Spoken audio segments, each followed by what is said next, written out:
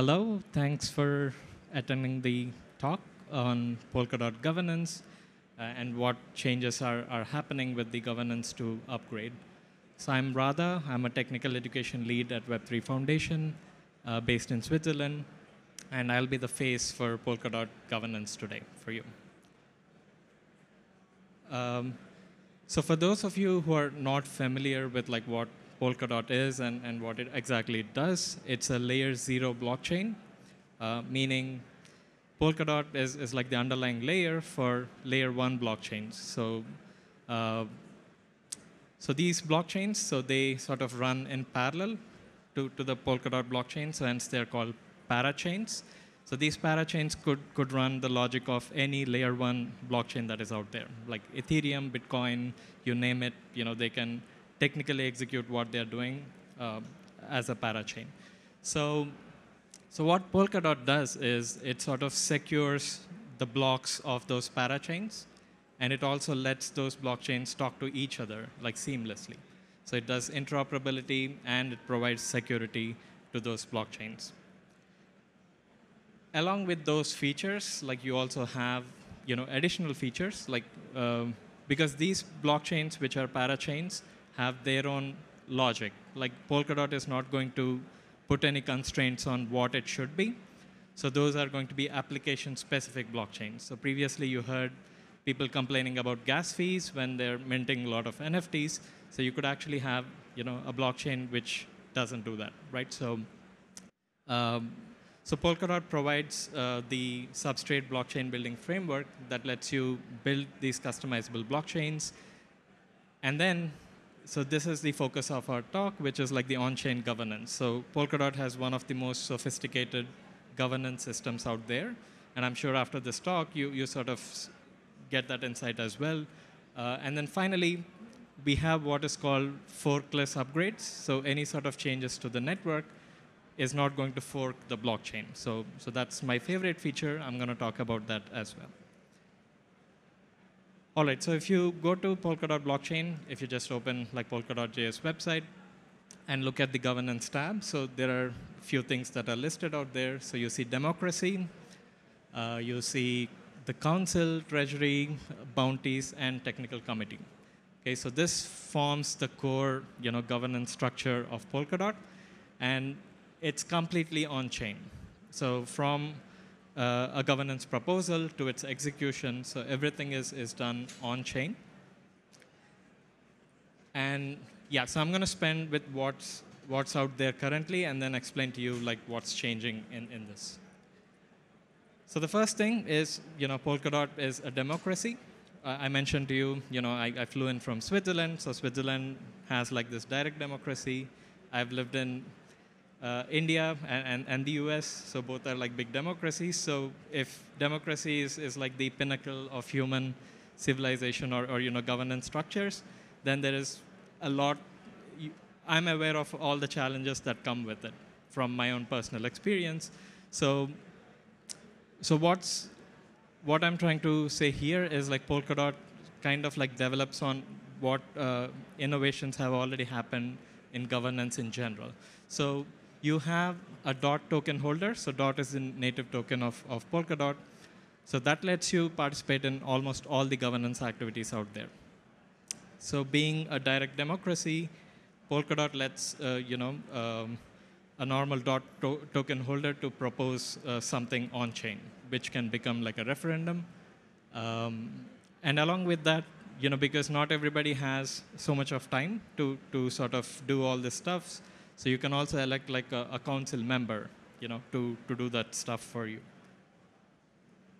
So I'll tell you like what struck to me a lot in, in Polkadot's governance system. It's the concept of conviction voting. So whenever there is a democracy, it's the majority that always gets the things that it wants, right? So the minorities always have to fight it out for their voice to be heard. So Polkadot is one of the, those blockchains that lets you know minority groups have their, their preferences sort of noticed. So, so we have a concept called conviction voting. Of course, like uh, in other blockchain systems, the number of tokens you hold are going to define like, you know, how much uh, say you have in, in a certain uh, referendum.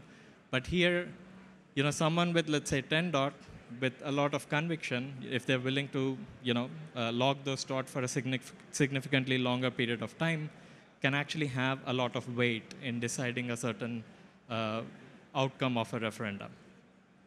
So, yeah, so th that's with the direct democracy out there. But again, like you need someone to, you know, actively take care of like the governance of the chain. So that's the job of the council. So currently there are like 13 elected council members out there. So all of them have their identities listed. Uh, but again, this sort of causes some level of like centralization and then uh, a lot of like accountability on these, these council members, um, which is what is going to be addressed later in, in, in the latest model. But anyway, so these are the council members who, they don't have any extra privileges to, to execute like referenda or something. They can only create referenda uh, which have some privileges. I'm going to talk about this later. Um, so if I'm, as a dot holder, if I create like a proposal and then it makes it to the referenda queue, so this is what happens. So uh, forget about that equation for a while. So what this is saying is initially, when the voter turnout is very low, uh, my proposal requires uh, a higher threshold for of ayes to be passed. As the voter turnout increases, let's say it's 100%, then the threshold would be, you know, half. So half of the voter base has to say yes for my proposal to pass through. So that is what is happening in the denominator right there. So turnout and electorate, if they both are like same, then basically it's 50%, you know, whoever is on one side or the other is going to decide the fate of the referendum. Now, council has uh, some inertia uh, in their advantage. So what they have is called supermajority reject. So it looks like initially when the voter turnout is low, the council-based referenda can pass when you know there's like 34% of yes. So uh, which again, as you can see, can introduce some some kind of like uh, centralization talk, saying like council members have this unfair advantage over like a general proposal. And then there is Treasury. Like uh, I'll tell you about like Polkadot Treasury uh, shortly. Uh, so the Treasury is funded by the block transaction fee, uh, sorry, block reward fee, transaction fee, slashing if, if it were to occur, Treasury gets, gets that money. And then staking inefficiencies, like any sort of uh, switch in terms of like the network staking, the inefficient uh, rewards, they, they go to the treasury. Anyway, so there are over 30 million dot and, and like Polkadot treasury right now. And all of them are being uh, you know, constantly sought after. Like people put proposals uh, to get those dot to fund events like this. Like literally events like these have been funded by Polkadot treasury. It also funded, uh, for instance, the typeface that you see, the font in the slides. So that is sort of funded by, by Polkadot tre Treasury as well. So education initiatives, tooling, anything to do with uh, the infrastructure development of, of the ecosystem. And finally, the, there is another chamber of Polkadot governance, which is technical committee. And again, you can see that it's kind of centralized. Uh, there is a reason for that, because technical committee is supposed to be for the ones who are who have implemented Polkadot protocol. So one is like Web3 Foundation, and the other two are Parity. Now these are elected by the council, um, and they have significantly less power. So all they can do is fast track the referenda.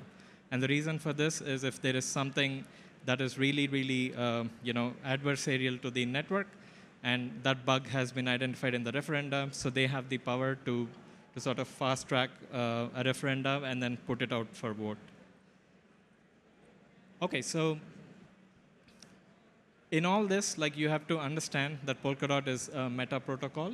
So when I say meta protocol, it has the ability to rewrite itself through governance. Uh, and I'm not putting these words out in the air, so this is based on the underlying technology. So Polkadot is powered by three core technologies, of that which uh, I'm going to highlight WASM, which is WebAssembly. So basically, all the brains of the blockchain, it's called like runtime. It has all the code for execution. That runtime is, is basically a, a WASM blob, and that can be changed uh, through governance. So new rules, new um, laws. So that gives you a perspective, a new perspective about what code is law means.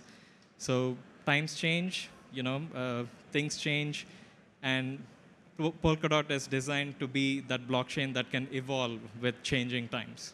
Okay, so the way code is law uh, is being like redefined by Polkadot is through governance because you know you have legis legislature bodies in, in in actual governments out there, so Polkadot has that similar structure.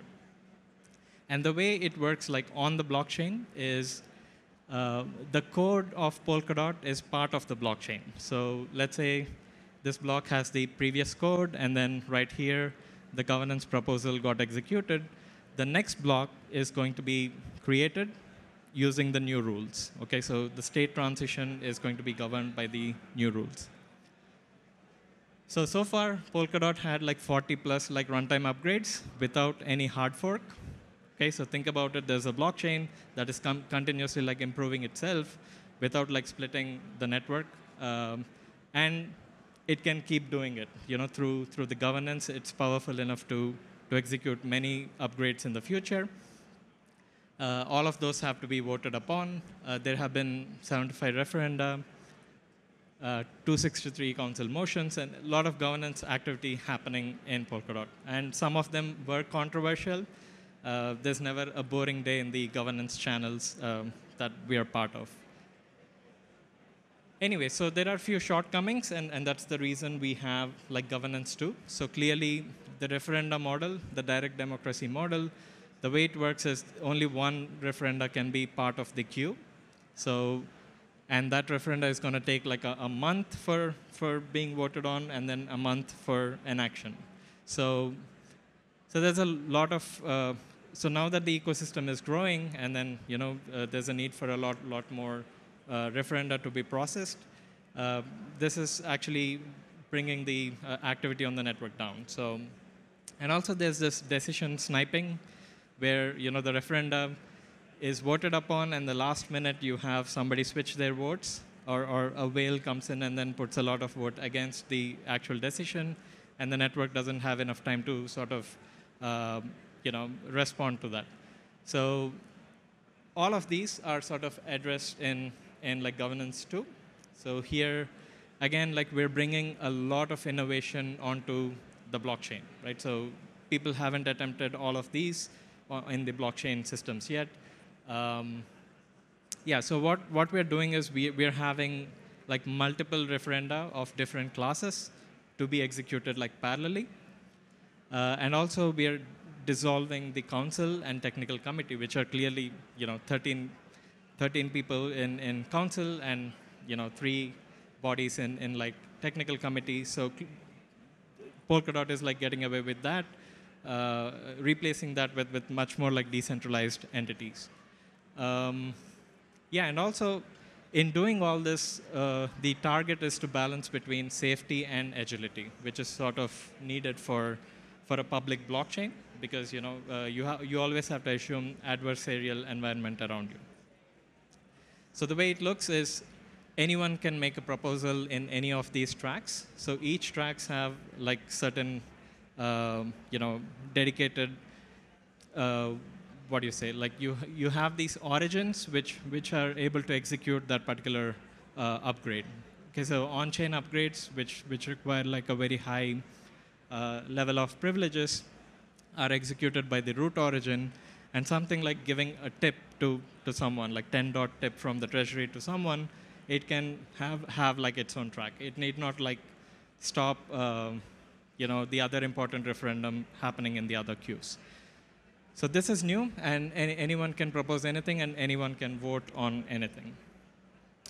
And then the biggest problem with, with any blockchain out there is the voter turnout. Anybody who, who is like trying to implement on-chain governance has to deal with it.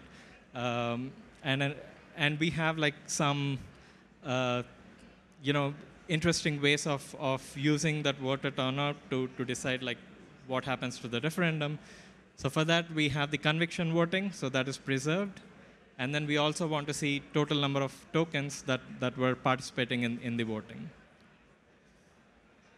And also, there's a way for you to like delegate like uh, your votes. Uh, you know, for each track, you can delegate uh, individual person. So let's say someone is really good uh, technically, you can say, you know, they can have my voting power for the root origin and, and for the others as well. And finally, like you need someone, the technical expertise of the technical committee. So you're sort of giving that to what we are calling the fellowship. So the fellowship uh, has its own like origin, which is going to fast track like proposals uh, and, and you know, be very useful when, when there is some bug in the network that needs to be taken care of. Shortly, like so nothing significantly changed, only the, the total throughput of, of the network in terms of governance. Uh, that is being like improved. Uh, still, the core tenets of Polkadot governance are preserved. You know, the minority groups being able to like express their uh, say in, in, like governance, and all of that is preserved. You have multiple tracks. Um, you can delegate your voting power to, to someone else to vote on your behalf because you don't have so much of time reviewing so many proposals.